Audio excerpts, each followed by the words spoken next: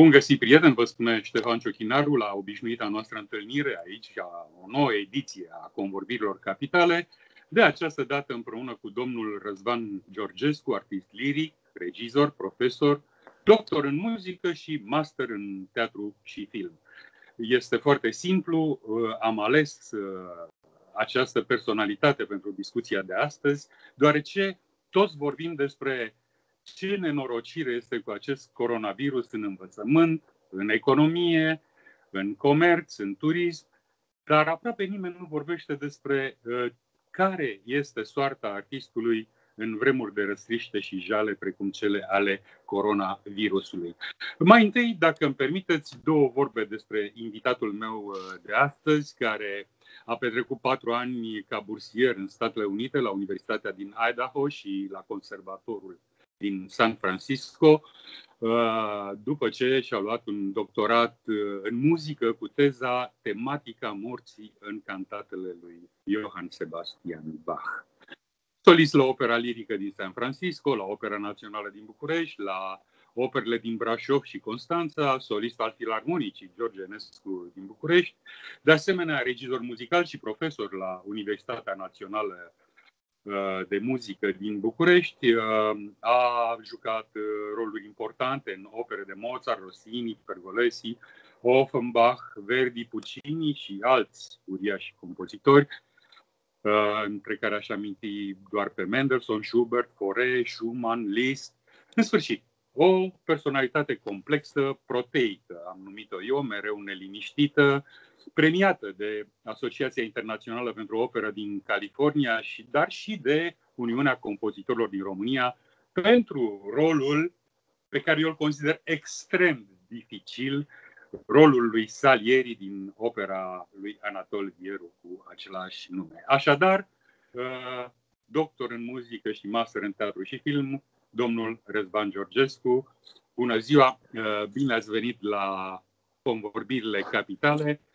Bună ziua! Uh, mă bucur să fim împreună chiar și așa, prin uh, Skype, dar e important ca prietenii Radio România București să poată să vă și vadă, nu doar să vă audă, și să în felul acesta să vă Uh, măsoare greutatea specifică, între ghilimele, desigur. Uh, de unde această neliniște, domnule Georgescu? De unde această permanentă căutare? Pentru că este, ăsta este sentimentul pe care l-am atunci când privesc la, la destinul dumneavoastră. Cred că sunt uh, două feluri să-ți crești o viață împlinită. Primul ar fi în care, cel în care îți găsești un drum stai pe el, încerci să ajungi cât mai departe poți pe acest drum, îți, uh, îți adun toate cunoștințele în domeniul tău și încerci să explorezi cât mai departe, cât mai mult, cât mai adânc în domeniul pe care ți l-ai luat. Asta e un mod de a fi. Al doilea, după părerea mea, este cel în care vrei să faci din toate ce te interesează. Ai mai multe interese. Bineînțeles, eu sunt croit uh, pe o filieră, să zicem, mai artistică. Um, nu mă pot mulțumi doar cu muzica, deși muzica mi-e cel mai aproape de suflet, o fac de la șase ani. Uh, dar încerci, am încercat, cel puțin eu, am încercat să intru în toate domeniile cât am putut eu de adânc, toate domeniile care m-au interesat și care mi-au plăcut. Asta înseamnă și teatru, asta înseamnă și regie muzicală, Ehm, asta înseamnă și regie de operă, asta înseamnă puțin și ca scriitor, ehm, nu la nivelul la care m-aș fi dorit, bineînțeles, dar ehm, sunt mai multe aspecte ale artei care m-au interesat și în care am încercat să mă, mă împlinesc atât cât am putut. Astea sunt cele două feluri. Bineînțeles că puteam să rămân pe operă și să învăț cele, nu știu, 25 de roluri definitorii pentru vocea mea, nu? Și aș fi da. stat toată viața ca un cântăresc de operă care la un moment dat epuizează ce avea de spus și ce avea de făcut și se lasă într-o plăcută și dulce pensie. Exact, exact. Pentru că vorbim despre așa numiți rentieri și asta un fel de rentă. Ai 25 de roluri definitorii și din azi renta acestor roluri între ghilimele, desigur, renta, trăiești toată viața absolut liniștit, plimbându-te de pe o scenă pe altă scenă a lumii. E o cale Asta foarte onorabilă, dar nu este calea mea. Am înțeles. Am înțeles și este într-un fel și răspunsul la, la această fantastică căutare. Deci după ce ați reușit în America, v-ați impus, ați făcut școală acolo, ați luat premii, ați ajuns să fiți solist al, al uh, operei din San Francisco. Uh, operei lirice. Operei lirice din San da. Francisco. Uh, ei bine, uh, vă întoarceți în România și vă aruncați într-o, într-o nouă explorare, nu? Vă duceți, faceți IATC-ul, uh, explorați, cu alte cuvinte, teatrul, filmul, scenariul și spuneați acolo descris. Eu pot să depun mărturie că în, în pana dumneavoastră stă un mare nuvelist Uh, nedescoperit. Un novelist care trebuie să întrăznească să publice, poate o să vă convingem să publicați cele scrise, pentru că scrieți cu foarte mult har. Bine, uh, revenind, revenind uh, cum spuneam, e o personalitate extrem de complexă. Încercați pe tot ceea ce înseamnă creație, să explorați, să vă găsiți, să vă exprimați. Uh, dar ne-ați dat o informație capitală. Ați început la șase ani. Da. La șase ani, de regulă, nu faci singur alegerile. Nu, nu. Uh, da și nu. Uh, tatăl meu, care a stat în mediul artistic majoritate din anii lui, era nebunit pe muzica clasică, era absolut terminat pe muzica clasică. Eu la 5 ani, la pick-up-ul uh, din colțul camerei sale, ascultam uh, sonate de vioară și pian de Beethoven. Așa am crescut. Deci tata nu avea pregătire muzicală, n-avea nimic, avea o ureche foarte bună, avea o voce splendidă, cânta romanțe sâmbătă seara cu televizorul odată din fotoliul lui, unde moțăia. Și uh, toate, toată ambianța asta din casă are efect. Și la un moment dat uh, da, da, da. îți uh, excită un pic talentul din tine, îl, îi dă drumul să iasă. Și pe la șase ani eu cântam cu el romanțele alea, înțelegeți? Și atunci tata a zis, hai să încercăm să facem ceva din băiatul ăsta, hai să încercăm să-l ducem la muzică, hai să vedem dacă e în stare. În mintea tatălui meu, liceul de muzică era apogeul uh, unui unui copil să ajungă la liceu de muzică era visul lui cel mai înalt. M-am dus acolo, examenul de intrare a fost foarte simplu, am intrat și n-am mai ieșit din el decât după vreo 12 ani. Asta a fost tot. Sigur, am învățat un instrument, de fapt două, că am schimbat de la vioară la violă. Um, și am stat în ambianța muzicii clasice toată viața mea. Aș putea să spun, la limită, am stat în fiecare zi din viața mea. Ceea ce mi se pare o minune. E minunat.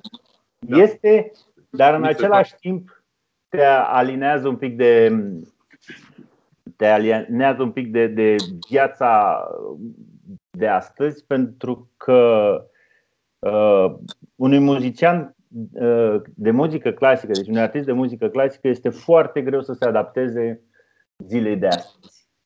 În sensul că Uh, noi fiind, bineînțeles, uh, antrenați să ascultăm orice fel de muzică din punct de vedere analitic, să analizăm de fiecare tot ce se întâmplă în jurul nostru în ceea ce privește muzica, uh, nu ne simțim prea bine. Ce să spun? Muzica de azi este destul de stricată, aș putea să spun, destul de traumatizată și... Ce o strică? Poftim? Ce o strică? Nevoia de simplitate, nevoia de a nu gândi, nevoia de a lua lucrurile as it is, cum sunt, nevoia de a nu. Uh, și lipsa noastră de pretenții artistice. Nu știu, școala, educația, n-am răspuns la toate astea. Uh, nu mai suntem obișnuiți să fim pretențioși. Ori în muzică, a fi pretențios este esențial, după părerea mea. Ca să ai toată împlinirea. Știți ce? Sunt și două feluri de a asculta muzică. Da. Uh, cea în care, bineînțeles, uh, îți place o melodie, poate îți descrie oarecum personalitatea, îți place un ritm, uh, îți place un sound, o atmosferă, un ritm dansant care e aproape de sufletul tău. Bun, asta e un fel. Sigur, nu te duci la o nuntă sau la o petrecere să asculți Beethoven. Asta e normal. Dar este și al doilea fel de a asculta muzica. Cea în care tu te raportezi la ceva mult peste tine. Muzica aia care te face să te gândești, muzica aia care intră în adâncul tău. Și împlinirea acelei muzici în ființa ta este plenară, ceea ce cu nicio altă muzică nu se întâmplă. De aia este păcat, este mare păcat că oamenii nu au pretenția asta, nu au ambiția asta, nu au uh, uh, deprinderea asta să fie, să fie vrăjiți de muzică. Credeți că societatea modernă, viața într-o astfel de societate ne-a modificat uh, tipul de sensibilitate? Nu, nu, nu, nu, nu cred. Nu. Noi, funciari, suntem aceiași. Ce ne-a modificat este uh, lipsa de prinderii de a de a contempla.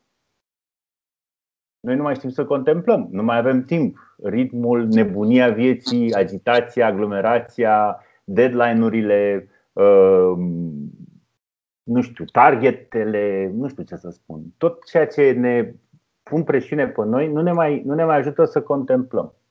Asta cred că este explicația. Pentru că împlinirea împlinirea unui om nu vine numai din banii făcuți și din lucrurile realizate. Te împlinești și când sufletul ți-e împlinit. Așa cred. Ați avut o temeritate absolut fantastică, pentru că vorbim despre viață, trebuie să vorbim și despre moarte, face parte din viață. Ați avut o temeritate absolut fantastică analizând moartea în uh, operele lui Bach. Ați avea același curaj pentru a analiza viața în operele lui Mozart?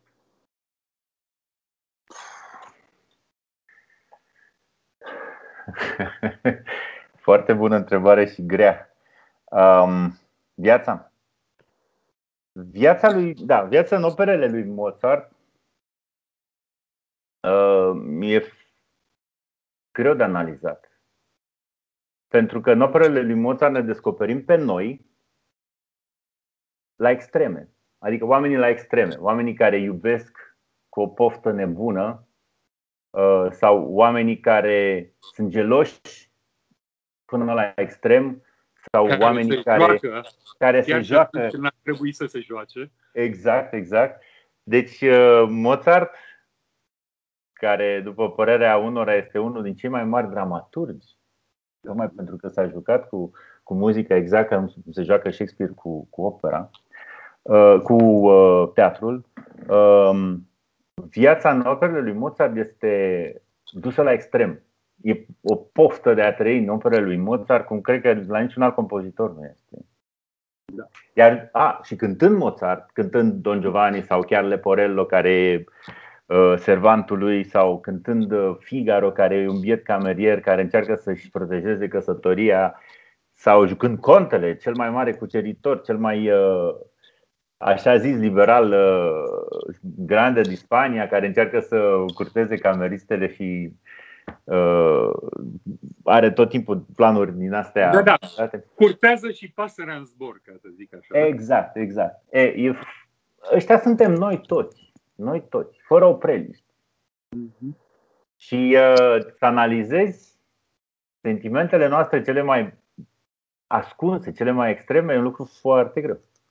Foarte Cum e și moartea de analizat. Mergeți în extrema cealaltă, la Bach și la moarte.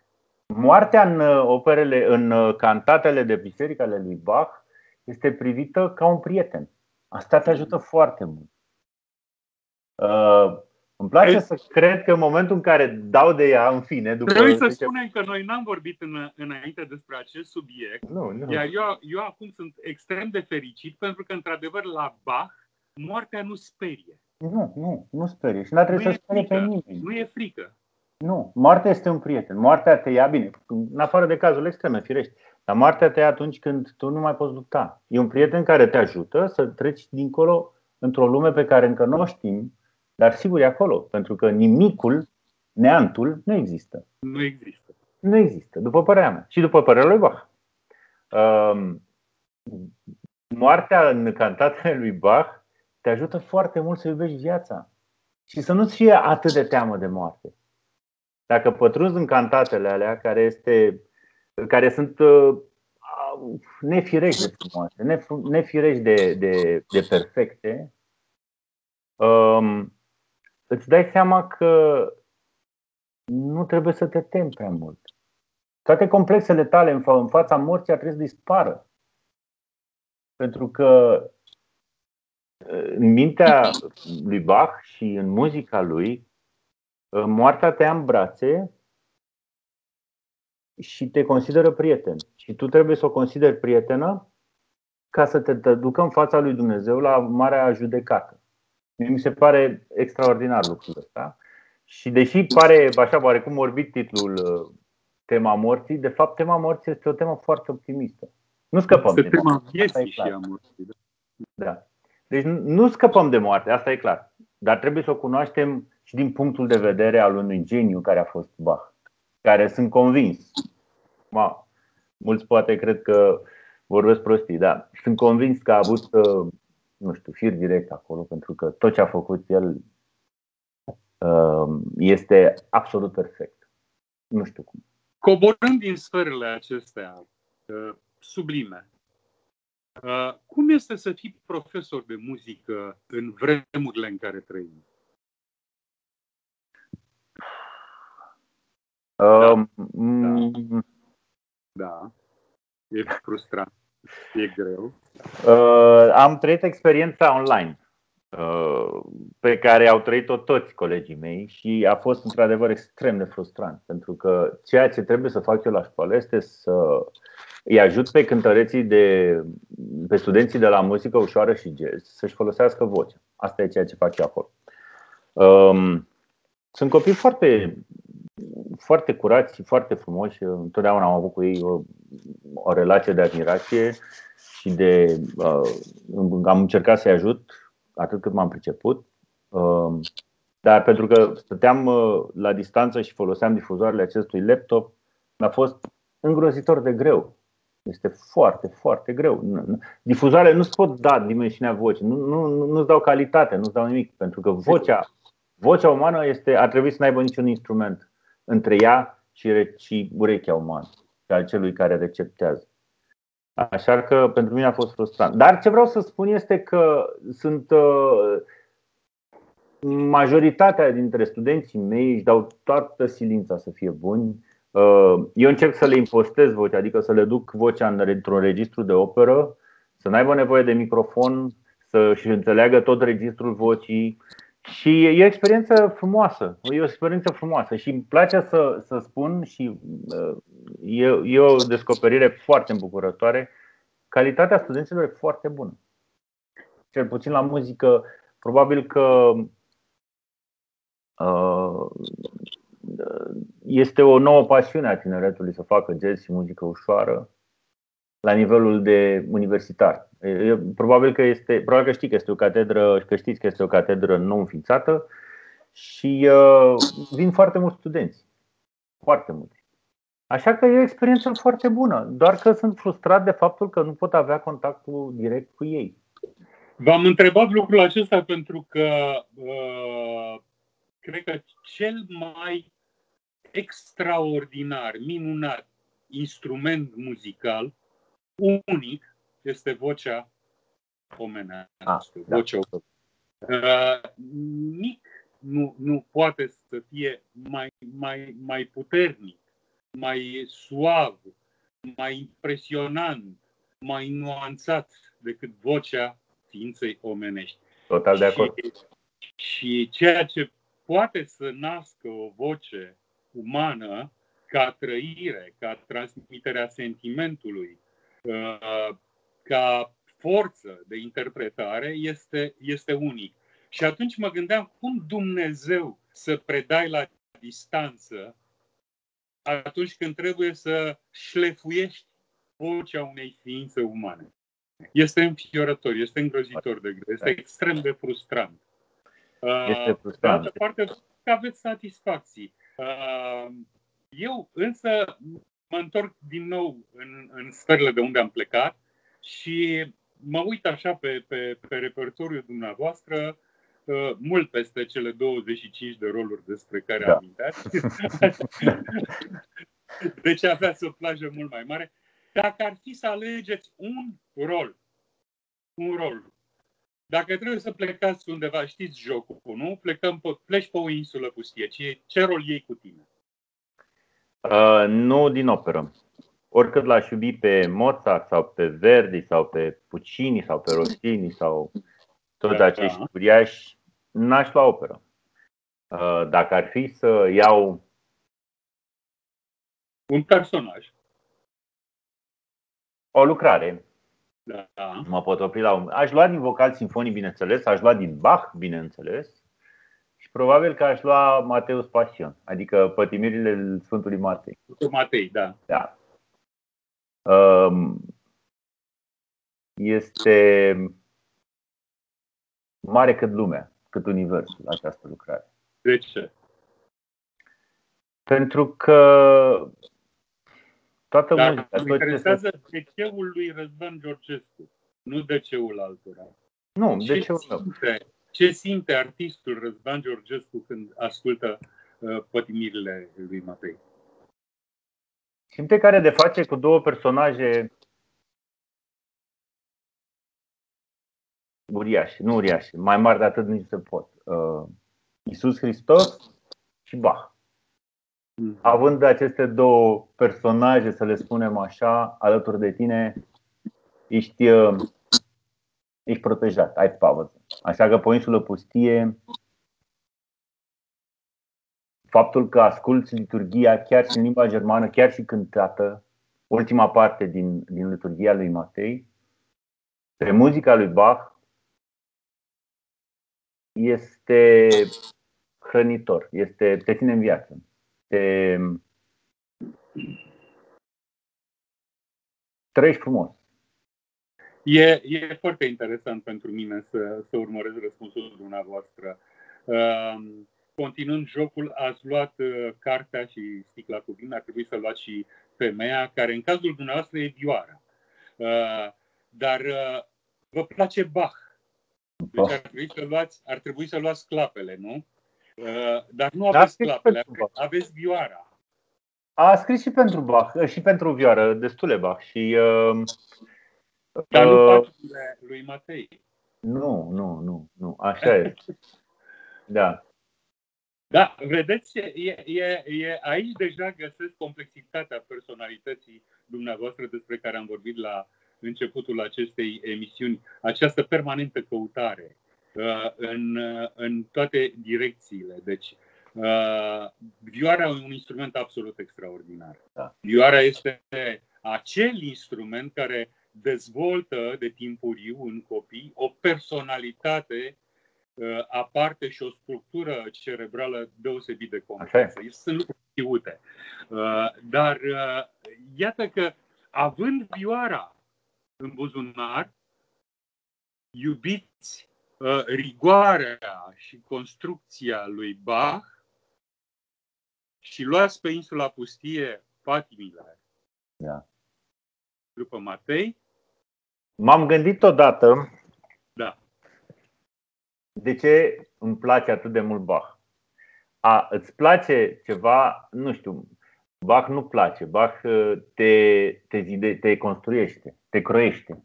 Okay? Deci nu poți să zic că îți place Bach. Nu știu, îți place o carte, îți place o mâncare, îți place o femeie, nu știu. Dar la Bach este cu totul, deja lucrurile trec în altă, în altă dimensiune. Dar totuși, ce, de, ce, de ce sunt atât de împlinit când ascult Bach? M-am întrebat de foarte multe ori. Eu cred că Bach are, este singurul dintre compozitori, după părerea mea, care îți hrănește ambele, ambii lobi ai creierului în egală măsură și plenar. Adică partea afectivă, frumusețea acestei muzici, um, ceea ce ea spune, felul cum o spune, felul cum, cum uh, îți povestește, cum spune o poveste.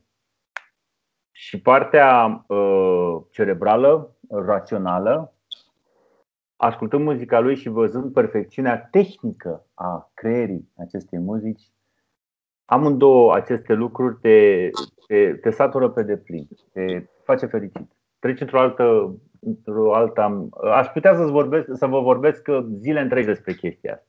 Da, da, da. Omul de plin este omul lui Bach, am înțeles. Uh, Pentru mine. Tot, da, da, da, da, am înțeles. Despre asta vorbim. Uh, dar, dar uh, eu tot rămân cu, cu, cu o neîmplinire și anume că nu v-am făcut să rostiți acel personaj de operă pe care îl simțiți cel mai aproape. Personaj de operă pe care îl simțiți cel mai aproape. Um,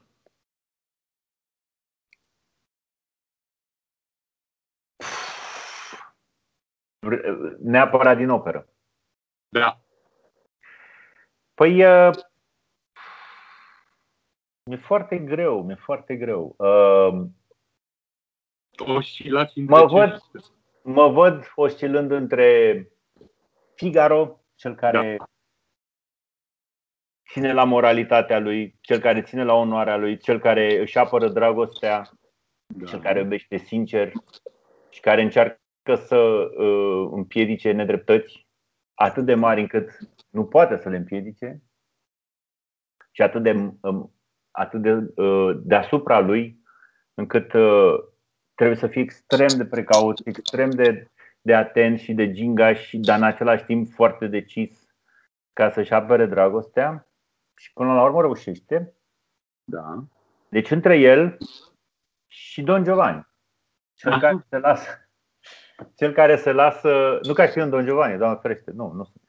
Dar uh, este omul, supraomul, care se lasă dominat de plăceri și care nu se teme să se lupte cu moartea și nu se dezice de la plăcerile lui.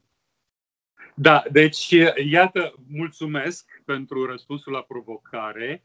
Uh, ne și oprim cu acest răspuns pentru că în el avem răspunsul definitiv uh, pentru acest moment a ceea ce este uh, artistul, regizorul, profesorul Răzvan Georgescu între omul care între, între omul acela mic care se revoltă apărându-și dragostea și uh, titanul uh, care, care trăiește bucuriile iubirii Uh, sub toate aspectele. Toate aspectele da. Uh, aici, aici, ne, aici vă avem în acest moment în care coronavirusul vine și ne strivește, iar noi ne revoltăm împotriva lui, cerându-ne dreptul la viață, la iubire și la speranță. Mulțumesc foarte mult, foarte uh, pentru prezența în această emisiune, pentru discuția noastră. Vă mulțumesc și vouă, prieteni, pentru că ne-ați urmărit. Rămâneți în continuare la Radio România București.